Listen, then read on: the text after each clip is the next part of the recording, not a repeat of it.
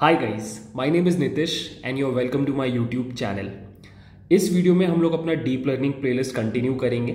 अगर आपको याद होगा, हमने लास्ट वीडियो में एक्टिवेशन फ़ंक्शंस पढ़ना स्टार्ट किया था और हमने तीन बहुत इंपॉर्टेंट एक्टिवेशन फ़ंक्शंस के बारे में पढ़ाई की थी। हमने पढ़ा था सिग्मोइड के बारे में टैनेज के बारे में और रेल्यू के बारे में। अब आज हम लोग अपना डिस्कशन बिल्कुल उसी पॉइंट से कंटिन्यू करेंगे। हम लोग सबसे पहले डिस्कस करेंगे कि रेल्यू में क्या प्रॉब्लम है।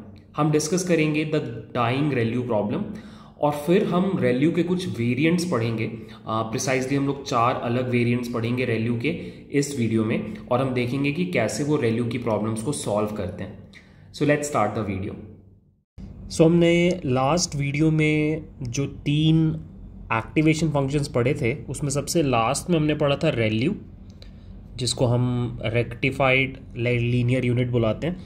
एंड हमने ये भी पढ़ा था कि for all practical purposes this is the best choice for hidden layers मतलब आज की डेट में ज़्यादातर लोग अगर एक न्यूरल नेटवर्क ट्रेन करते हैं तो हिडन लेयर के न्यूरॉन्स में एक्टिवेशन फ़ंक्शन रेल्यू ही रखते हैं बिकॉज़ uh, बहुत सारे फ़ायदे हैं इंक्लूडिंग इसमें वैनिशिंग ग्रेडियंट प्रॉब्लम नहीं होता। ये सब हमने लास्ट वीडियो में देखा था। सो so, सब कुछ ठीक है but there are certain problems ReLU की भी कुछ परेशानियाँ हैं, मैंने आपको लास्ट वीडियो में बताया भी था। बट जो सबसे बड़ी परेशानी है, जो सबसे बड़ा डिसएडवांटेज होता है रेल्यू का, वो मैंने आपको लास्ट वीडियो में नहीं बताया था। वहीं से हम लोग आज का वीडियो स्टार्ट करेंगे। और उस परेशानी का नाम है डाइंग रेल्यू प्रॉब्लम ठीक है? डाइंग रेल्यू प्रॉब्लम क्या होता है? कि कभी कभी ऐसा होता है कि अगर आपने एक्टिवेशन फ़ंक्शन रेल्यू लगा रखा है तो कुछ न्यूरॉन्स का, मान लो जैसे ये न्यूरॉन का, जो आउटपुट होता है, वो ज़ीरो हो जाता है। आप कुछ भी इनपुट दो। It does not depend on the input output हमेशा ही ज़ीरो रहता है। इसी को बोला जाता है डेड न्यूरॉन डेड न्यूरॉन एक ऐसा न्यूरॉन है, जो कुछ सीख नहीं रहा। इनपुट के बेसिस पे आउटपुट चेंज नहीं हो रहा। For any given input the output is zero ऐसे न्यूरॉन को बोला जाता है डेड न्यूरॉन और सबसे बड़ी प्रॉब्लम क्या है डेड न्यूरॉन की? कि वो फॉर एवर डेड रहता है। एक बार मर गया तो वो हमेशा ही ज़ीरो का ही आउटपुट देगा। आप ऐसा मान सकते हो कि वो अब इस न्यूरल नेटवर्क में है ही नहीं। तो होगा क्या ऐसा प्रॉब्लम से? डाइंग रेल्यू प्रॉब्लम से होता क्या है कि अगर आपके 50 परसेंट से ज़्यादा न्यूरॉन्स के साथ ये प्रॉब्लम होने लग जाए और आपके 50 परसेंट से ज़्यादा न्यूरॉन्स अगर डेड न्यूरॉन बन जाए तो ये प्रॉब्लम होगा कि आप जो मॉडल ट्रेन कर रहे हो अपने गिवन डेटा के ऊपर तो आप क्यों ट्रेन कर रहे हो? बिकॉज़ आप डेटा के अंदर के पैटर्न्स को कैप्चर करना चाहते हो। बट सिंस अब आपका model is operating at a performance level of less than fifty percent आधे नोट्स काम ही नहीं कर रहे तो ऑब्वियसली डेटा के पैटर्न्स को आप अच्छे तरीके से कैप्चर नहीं कर पाओगे। जो रिप्रेजेंटेशन है डेटा में, आप उसको ढंग से कैप्चर नहीं कर पाओगे। जो हाई लेवल रिप्रेजेंटेशन हैं, वो आप हैंडल नहीं कर पाओगे। आप बदले में आपको एक लो लेवल रिप्रेजेंटेशन मिलेगा, जो कि बहुत अच्छा नहीं होगा। और सबसे ख़राब सिनारियों में वर्स्ट के सिनेरियो में ये हो सकता है कि आपके हंड्रेड परसेंट न्यूरॉन्स डेड हो जाएँ। उस केस में आपका नेटवर्क है ही नहीं। ऐसा समझो कि कोई भी नोड एग्जिस्ट ही नहीं करता क्योंकि कोई भी सीख ही नहीं रहा है। तो फिर फ़ायदा ही नहीं होगा न्यूरल नेटवर्क अप्लाई करने का। तो यही सबसे बड़ा प्रॉब्लम है रेल्यू का कि डाइंग रेल्यू प्रॉब्लम हो सकता है और अगर बहुत ज़्यादा न्यूरॉन्स में डाइंग रेल्यू प्रॉब्लम हो गया मोर देन फिफ्टी परसेंट में तो आप अपने डेटा में छुपे हुए पैटर्न्स नहीं खोज पाओगे, ठीक है? तो सबसे पहले अब हम समझेंगे कि डाइंग रेल्यू प्रॉब्लम होता क्यों है, ठीक है? और फिर हम समझेंगे कि उसको सॉल्व कैसे किया जाता है, उसको हटाने के तरीके क्या हैं। चलो फिर गाइज़ एक बार समझने की कोशिश करते हैं कि डाइंग रेल्यू प्रॉब्लम होता क्यों है। मैं आपको एक मैथमेटिकल इंट्यूशन देने की कोशिश करता हूँ और फिर मैं आपको एग्जैक्ट रीजंस बताऊँगा ठीक है? सो so, थोड़ी देर के लिए हम लोग क्या करते हैं एक छोटा सा सेटअप अज्यूम करते हैं जहाँ पर हमारे पास दो न्यूरॉन्स हैं। सो ये मेरा इनपुट लेयर है ये मेरा हिडन लेयर है इसमें बस एक ही यूनिट है और ये मेरा आउटपुट लेयर है इसमें भी एक ही यूनिट है ठीक है? सिंपल सा सेटअप है यहाँ से इनपुट जा रहा है। यहाँ पे मेरे वेट्स हैं ये मेरा बायस है ये भी मेरा वेट है डब्लू थ्री और यहाँ पे मुझे वाई हार्ट मिल रहा है मेरा आउटपुट ठीक है? अब हम इस पर्टिकुलर न्यूरॉन के ऊपर फोकस करने वाले हैं। सो so, इसका सेटअप समझना इसका सेटअप बहुत सिंपल है कि इस न्यूरॉन का जो आउटपुट होगा let's call it A one activation of this neuron would be equal to max of zero comma Z one ठीक है? जहाँ पे जेड वन क्या है? Z one is basically W one x one plus W two x two plus B one ठीक है? इस node पे जितनी भी चीज़ें आ रही हैं उसका वेटेड uh, सम और उसी जेड वन को आपने यहाँ पे भेज दिया ठीक है? अब थोड़ी देर के लिए एक अजम्पन लेते हैं कि मान लो ये जो चीज़ है ये लेस देन ज़ीरो है। जैसे ये लेस देन ज़ीरो होगा, इसका एक्टिवेशन क्या हो जाएगा? ए वन क्या हो जाएगा? A one will be equal to zero right अब एक और चीज़, अगर ए वन ज़ीरो है तो ए वन का जो डेरिवेटिव होगा with respect to z one वो भी ज़ीरो हो जाएगा, ठीक है? अब ये एक बहुत इंपॉर्टेंट पॉइंट है। ये डेरिवेटिव अगर ज़ीरो है तो फिर ये दोनों वेट्स कभी अपडेट नहीं होंगे। मैं आपको समझाने की कोशिश करता हूँ। ये दोनों वेट्स को अपडेट करने के लिए आप क्या करते हो? आप बैक प्रपोगेशन एल्गोरिदम में ये काम करते हो।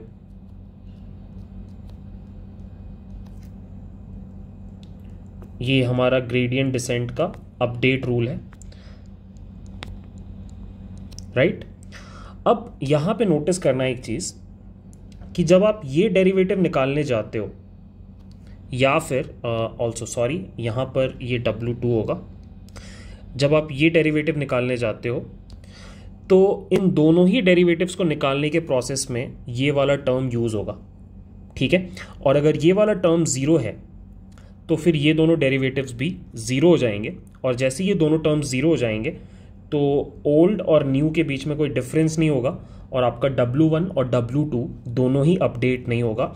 इन शॉर्ट आपका ये जो रेल्यू यहाँ पे लगा हुआ है, इसकी वजह से ये वाला नोड एक डेड नोड बन जाएगा, क्योंकि वो वेट्स अपने अपडेट ही नहीं कर पा रहा। बेसिकली इनपुट के बेसिस पे वो कुछ सीख नहीं रहा।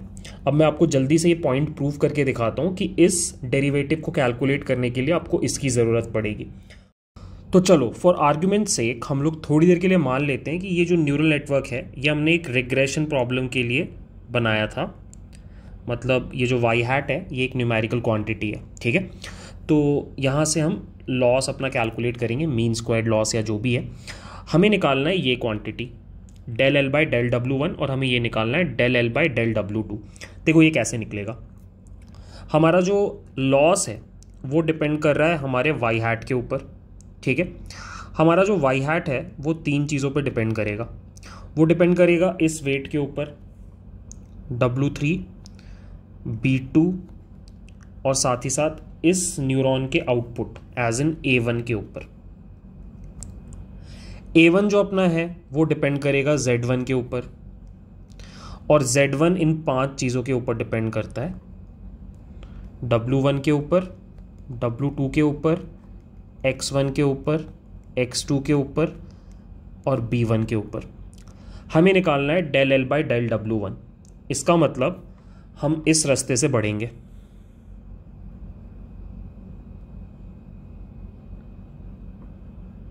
ठीक है? तो बेसिकली ये निकालने के लिए हो जाएगा del L by del W one हो जाएगा। Del l by del y hat multiplied by del y hat by del a one multiplied by del a one by del z one multiplied by del z one by del W one chain rule apply किया हमने। और similarly जब आप del W two के respect में निकालोगे, सब कुछ सेम रहेगा।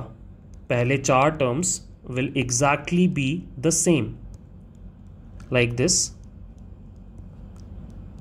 बस लास्ट में z1 one by del W two हो जाएगा। अब मैं फोकस करना चाहता हूँ इस टर्म के ऊपर। ये देखो। ठीक है? यही है वो टर्म अगर ये चीज़ नेगेटिव हो गई तो ये चीज़ भी नेगेटिव होगी। और जैसे ही ये ज़ीरो होगा, ये ज़ीरो होगा, ये दोनों ज़ीरो हो जाएगा। और जैसे ही ये दोनों ज़ीरो हो जाएगा डब्लू वन पुराना और नया बराबर है। डब्लू टू पुराना और नया बराबर है। बेसिकली ये दोनों अपडेट नहीं होंगे। यही होता है डाइंग रेल्यू प्रॉब्लम फिर से सुन लो। अगर एक किसी पर्टिकुलर न्यूरॉन में जो आपका वेटेड सम है, ये ज़ीरो हो जाए तो रेल्यू का जो डेरिवेटिव है, वो ज़ीरो हो जाता है। अब रेल्यू का जो डेरिवेटिव है, वो यूज़ होता है अपडेट रूल में। तो फिर वो पूरा अपडेट ज़ीरो हो जाता है। और जैसे ही अपडेट ज़ीरो होता है तो आपके वेट्स अपडेट होते नहीं हैं। ठीक है? तो मैथमेटिकल इंट्यूशन तो यही है। अब बस पूरा सवाल ये है कि ये जो चीज़ है, ये नेगेटिव कब होती है? क्योंकि सब कुछ इसके नेगेटिव होने पे ही हो रहा है। अब हम इसी बारे में बात करेंगे कि ये जो टर्म है, मैं यहाँ पे नीचे लिखता हूँ z1 वन जो था w1 one x one plus W two x two plus b one ये लेस देन ज़ीरो कब होता है? या फिर क्या रीजंस हैं इसके नेगेटिव होने के? अब देखो गाइज़ जनरली स्पीकिंग इस पूरे टर्म के नेगेटिव होने के दो रीज़न हो सकते हैं, ठीक है? फ़र्स्ट रीज़न इज़ अगर आपका learning rate is very high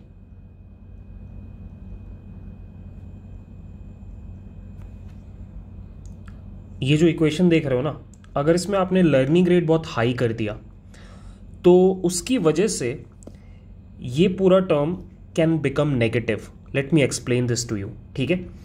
मान लो आपने पहला रो का डेटा यहाँ पे इंसर्ट किया, और उसके लिए ये पूरा टर्म पॉजिटिव है। ये पूरा टर्म पॉजिटिव है, ठीक है? मतलब डेरिवेटिव वगैरह ज़ीरो नहीं हो रहा। तो आपने जब अपडेट किया वेट्स को तो अपडेट रूल ये रहा। बट आपने क्या किया? बाय द वे ये पूरा डेरिवेटिव कुछ आएगा।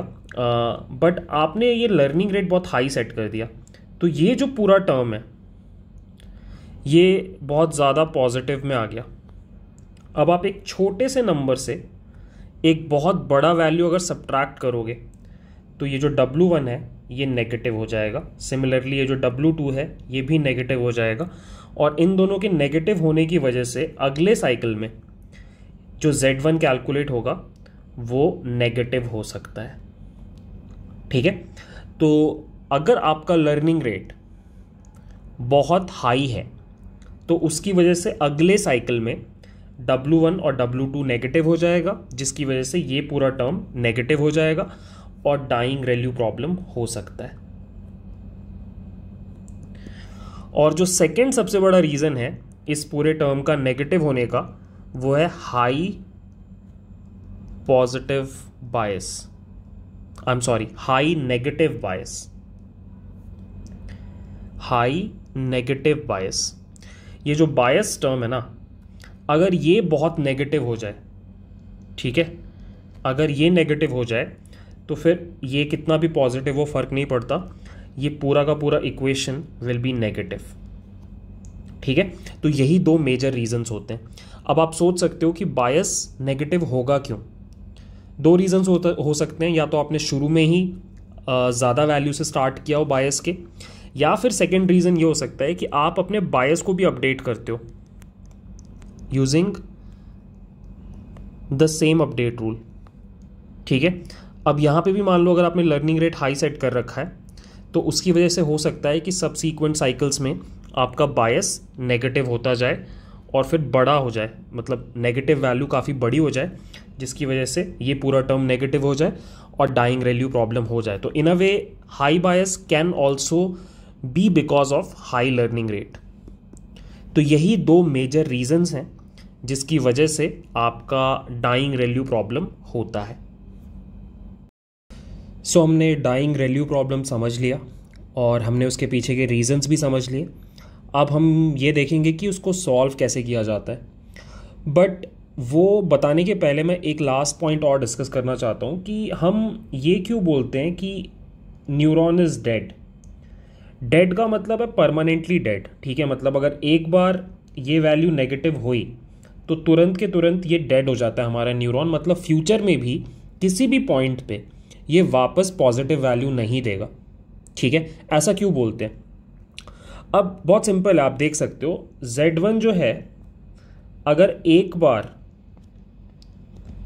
नेगेटिव हो गया तो ये रिकवर नहीं कर सकता, वापस पॉजिटिव नहीं हो सकता। उसका रीज़न ये है कि दो रीजंस थे नेगेटिव होने के। पहला मान लो बायस बहुत नेगेटिव हो गया है। तो अगर बायस बहुत नेगेटिव हो गया है तो होगा क्या? आपके वेट्स अपडेट नहीं होंगे। इसका मतलब अगले साइकिल में भी वेट्स वही हैं जो पिछले साइकिल में थे। बस आप चेंज क्या कर सकते हो? ये x1 और x2 बेसिकली अपना इनपुट चेंज कर सकते हो। बट इनपुट भी बहुत चेंज नहीं होगा बिकॉज़ आपने इनपुट को नॉर्मलाइज कर रखा है। तो वो ज़ीरो से वन के बीच में ही होंगे। तो ये इतने छोटे हैं कि ये बहुत नेगेटिव बायस को ओवरकम करके इस चीज़ को पॉजिटिव नहीं बना पाएँगे। ठीक है?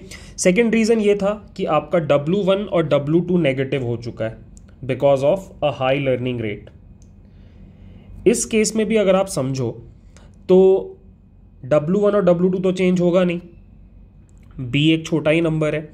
तो X1 और X2 के चेंज होने से भी कुछ नहीं होने वाला बिकॉज़ अगेन वो इस गिवन रेंज में है नॉर्मलाइज्ड हैं, ठीक है?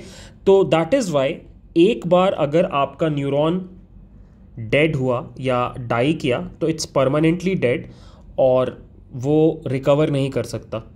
इट्स नॉट रिकवरेबल ठीक है? तो बस वही पंगे हैं इसके कि अगर इस तरीके से 50 परसेंट या उससे ज़्यादा न्यूरॉन्स डेड हुए तो आपका नेटवर्क फिर अच्छा परफॉर्म नहीं कर पाएगा। ठीक है? तो now let's discuss what are the solutions what are the solutions so तीन सॉल्यूशंस मैं आपको बताता हूँ। पहला सॉल्यूशन है to set low learning rates मैंने आपको बताया था लर्निंग रेट अगर हाई होता है तो उससे प्रॉब्लम हो सकता है। तो सिंपल तरीका है कि लर्निंग रेट को आप कम सेट करो। पहला सॉल्यूशन दूसरा सॉल्यूशन है बायस को एक पॉजिटिव वैल्यू से सेट करो। क्योंकि बायस के नेगेटिव होने से प्रॉब्लम हो रहा है। एक बढ़िया पॉजिटिव वैल्यू है point zero one experimentally proven है। It is sufficiently large enough कि आपका डाइंग वैल्यू प्रॉब्लम ना हो, ठीक है? और तीसरा है don't use ReLU instead ReLU के कुछ वेरिएंट्स आते हैं, वो यूज़ कर लो, ठीक है? अब देखो, पूरा प्रॉब्लम हम ये जो डिस्कस कर रहे हैं, हो तो रहा है रेल्यू की वजह से। बिकॉज़ रेल्यू ऐसा फ़ंक्शन है, जो जैसे ही नेगेटिव होता है तो उसका डेरिवेटिव भी नेगेटिव होता है। और उसके डेरिवेटिव को हम अपडेट रूल में यूज़ कर रहे हैं, जिसकी वजह से ये पूरा टर्म ज़ीरो हो जा रहा है और कोई अपडेट नहीं हो रहा है। तो इन अ वे जिस तरीके से ये फ़ंक्शन काम करता है, उसके तरीके में प्रॉब्लम है। तो वॉट इफ़ हम रेल्यू को थोड़ा सा चेंज कर दें? ठीक है? और चेंज हम इस तरीके से करें कि जो पॉजिटिव पॉइंट्स हैं रेल्यू के वो हम रख लें और जो ये प्रॉब्लम है, इसको हम रिमूव कर दें। तो अब हम पढ़ने वाले हैं कुछ वेरिएंट्स जो बिल्कुल रेल्यू के जैसे हैं, बस उनमें ये वाला प्रॉब्लम नहीं है, जिसकी वजह से डाइंग रेल्यू प्रॉब्लम होता है। इस वीडियो में हम दो टाइप के वेरिएंट्स देखेंगे रेल्यू के। पहले होंगे लीनियर वेरिएंट्स और दूसरे होंगे non linear variants linear variants वो वेरिएंट्स हैं जो रेल्यू के ऊपर लीनियर ट्रांसफॉर्मेशन लगाने से मिलते हैं और नॉन लीनियर वेरिएंट्स वो हैं जिनके लिए हमें रेल्यू के ऊपर एक नॉन लीनियर ट्रांसफॉर्मेशन अप्लाई करना पड़ता है। लीनियर में हम दो चीज़ें पढ़ेंगे। एक हम पढ़ेंगे लीकी रेल्यू और दूसरा हम पढ़ेंगे पैरामेट्रिक रेल्यू ठीक है? नॉन लीनियर में भी हम दो चीज़ें पढ़ेंगे। एक होगा exponential linear unit L U और एक होगा सेल्यू जिसको हम बोलते हैं स्केल्ड एक्सपोनेंशियल लीनियर यूनिट ठीक है? तो हमारे अब इस वीडियो का टारगेट है। ये चारों जो वेरिएंट्स हैं रेल्यू के इनको ध्यान से पढ़ना। सो so, जो पहला वेरिएंट हम लोग पढ़ने जा रहे हैं रेल्यू का वो है लीकी रेल्यू ठीक है। इसका ग्राफ आपके सामने है। मैं आपको इसका फॉर्मूला बताता हूँ। इसका फॉर्मूला होता है ये।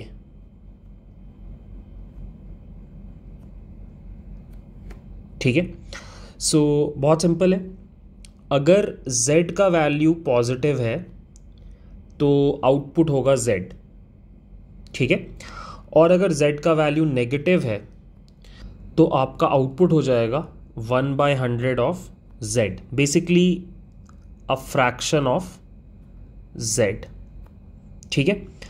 अब ये छोटे से चेंज से क्या फ़ायदा होता है कि आपका जब भी नेगेटिव वैल्यू है, z का जब भी नेगेटिव वैल्यू है तो output is not zero it is point zero one times of z.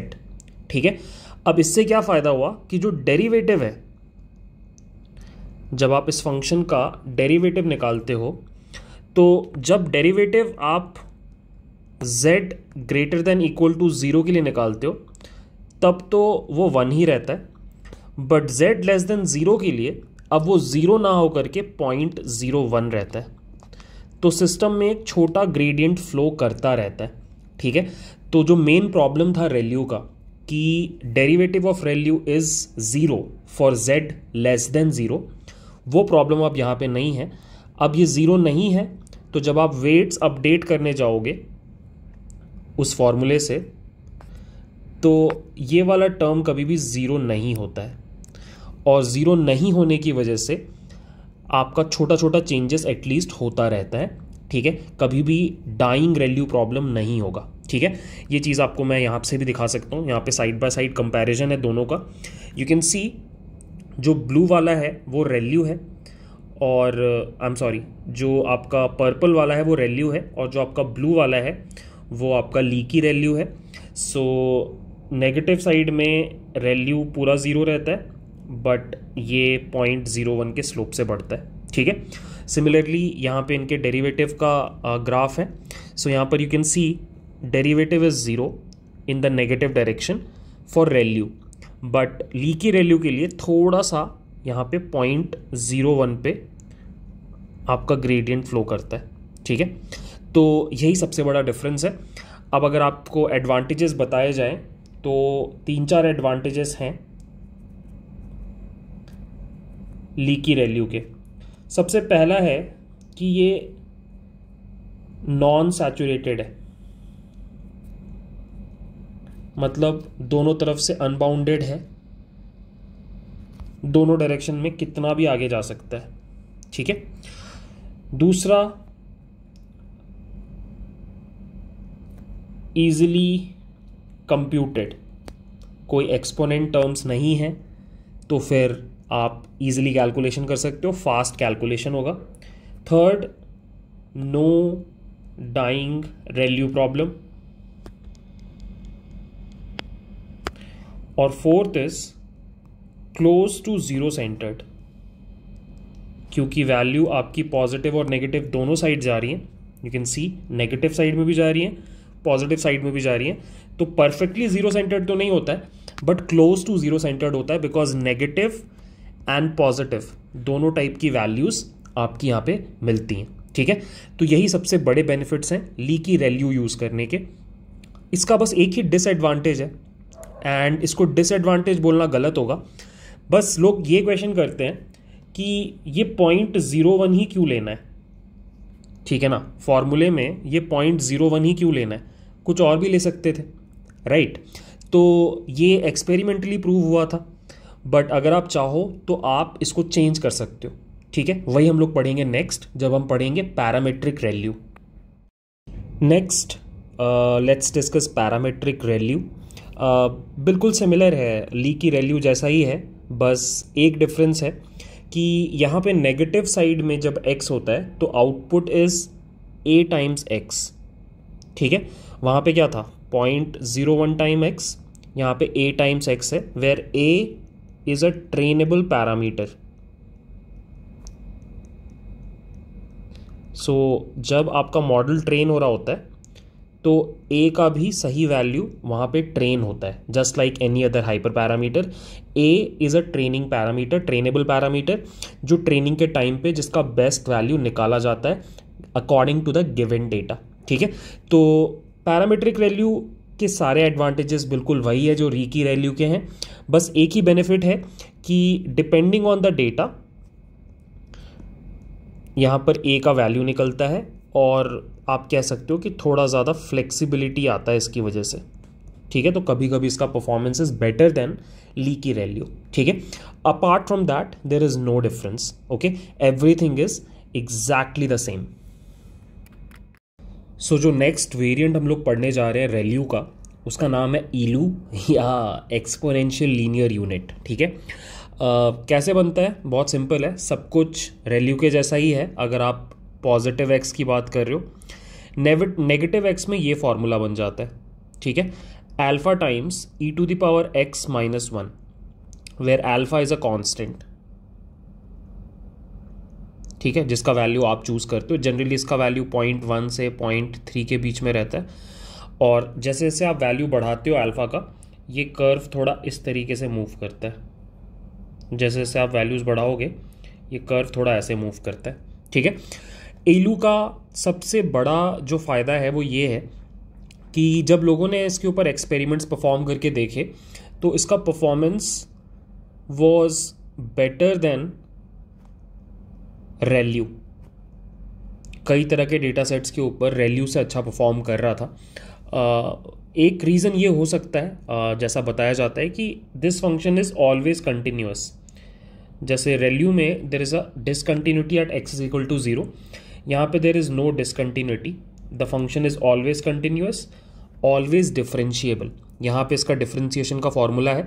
Positive के लिए बिल्कुल रेल्यू की तरह वन नेगेटिव के लिए L U L U function ही वापस आ जाएगा प्लस एल्फा कांस्टेंट ये आपका डिफरेंशिएबल डेरिवेटिव है। ठीक है? यहाँ पे मैंने प्लॉट कर रखा है डेरिवेटिव का कर्व ब्लू वाला कर्व है एल यू का और ऑरेंज कर्व है उसके डेरिवेटिव का। ठीक है?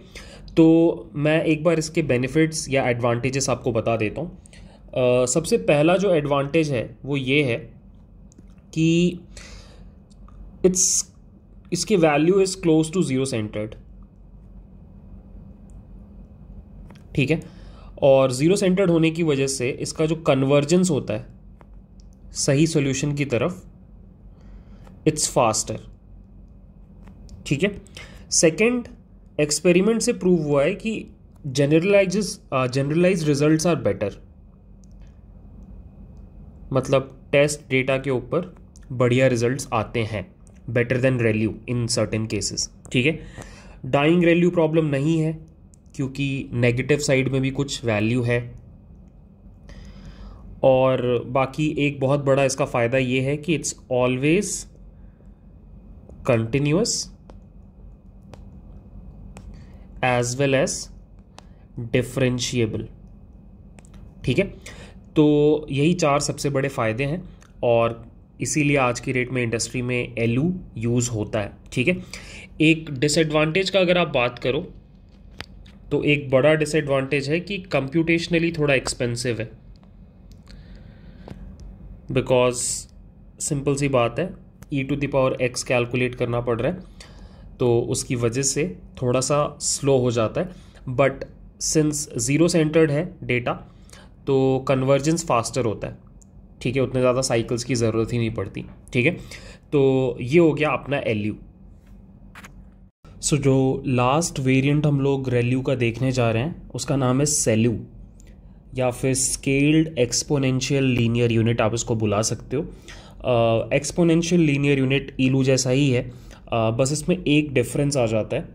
डिफरेंस ये है कि अगर आप फार्मूले पे फोकस करो तो सब कुछ बिल्कुल सेम है ईलू की तरह बट यहाँ पे बस एक लैमडा के फैक्टर से मल्टीप्लिकेशन होता है, ठीक है?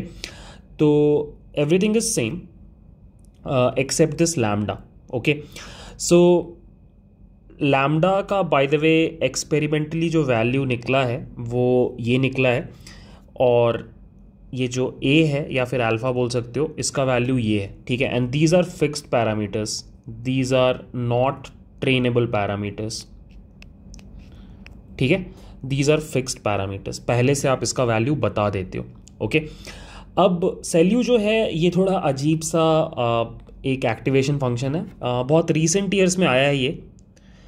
और जहाँ भी इसको यूज़ किया है रिजल्ट्स अच्छे आए हैं। इनफैक्ट इसकी एक बहुत बड़ी खूबी है जो मैं थोड़ी देर के बाद आपको बताऊँगा। बट अनफॉर्चुनेटली ये फ़ंक्शन अभी भी उतना यूज़ नहीं होता। बिकॉज़ इट्स रिलेटिवली न्यू और इसके ऊपर ज़्यादा रिसर्च अभी हुआ नहीं है। जिन्होंने पेपर uh, मतलब जिन्होंने ये फ़ंक्शन बनाया उन्होंने एक 90 प्लस पेजेस का एक पेपर पब्लिश किया जो खुद में पढ़ना बहुत डिफ़िकल्ट हो जाता है। So that is why I guess अभी तक पूरी तरीके से अडॉप्शन हुआ नहीं है ओके okay? uh, अगर आप देखना चाहो तो this is the graph positive side में सब कुछ वैल्यू के जैसा है बट वो लैमडा के फैक्टर से मल्टीप्लाई हो जाता है। और नेगेटिव साइड में आपका दो चीज़ों पे डिपेंड कर रहा है अल्फ़ा के ऊपर भी और लैमडा के ऊपर भी ठीक है? तो this is the graph of SELU अगर आप डेरिवेटिव का बात करो तो डेरिवेटिव बहुत ही सिंपल है। This is the derivative of SELU और उसका ग्राफ कुछ ऐसा दिखाई देता है। ठीक है? तो इसमें सारी खूबियाँ हैं रेल्यू वाली। एक जो एक्स्ट्रा एडवांटेज आता है सेल्यू के साथ, वो ये है कि इट इज़ सेल्फ नॉर्मलाइजिंग इसका मतलब ये हुआ कि अगर आप किसी लेयर में सेल्यू लगाते हो तो उस लेयर से जो एक्टिवेशन मिलता है इट इज़ नॉर्मलाइज्ड नॉर्मलाइज्ड का मतलब कि उन सारे एक्टिवेशंस का जो मीन होगा that will be equal to zero और जो स्टैंडर्ड डेविएशन होगा that would be equal to one और ऐसा होने की वजह से क्या होता है कि आपका जो न्यूरल नेटवर्क है, वो बहुत तेज़ी से कन्वर्ज करता है। इट कन्वर्जेस फास्टर ठीक है? एंड ऑल्सो रिजल्ट्स से यही समझ में आया कि जो आउटपुट होता है, जो जनरलाइजेशन होता है, वो भी बहुत अच्छा होता है सेल्यू के केस में। ठीक है? तो सबसे बड़ा बेनिफिट अगर आपसे कोई पूछ ले सेल्यू का क्या है तो आपको सिंपली एक बात बोलनी है कि इट इज़ सेल्फ नॉर्मलाइजिंग और सेल्फ नॉर्मलाइजिंग इसलिए बिकॉज़ नेगेटिव और पॉजिटिव दोनों साइड्स में आपकी वैल्यूज़ आ रही हैं और आप इस लैमडा और अल्फ़ा के बेसिस पे कंट्रोल कर सकते हो ठीक है? और नुकसान ये है कि अभी इसके ऊपर रिसर्च बहुत पूरी तरीके से कंप्लीट हुआ नहीं है तो अभी पूरा अडॉप्शन हुआ नहीं है। सो so, इसीलिए आप देखोगे कि बहुत कम ही जगहों पे सेल्यू यूज़ होता है। बट ओवर द ईयर्स ऐसा हो सकता है कि फ्यूचर में हमें आ, कई जगहों पे रेलू के बदले सेल्यू दिखाई देने लग जाए ठीक है? तो आई होप आपको ये पूरा डिस्कशन समझ में आया। So guys that was the video I guess आपको रेल्यू के सारे वेरियंट्स क्लियर हो गए।